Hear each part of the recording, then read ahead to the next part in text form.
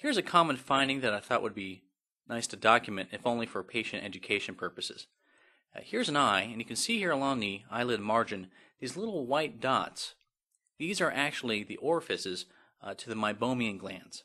The meibomian glands produce oil, which is an important component to the tear film because that oil keeps the tears from evaporating too quickly. Now, normally when I push on it like this with a Q-tip, clear oil comes out. But here, you can see right at this spot and this spot, it's coming out not clear, but more like toothpaste, kind of white colored.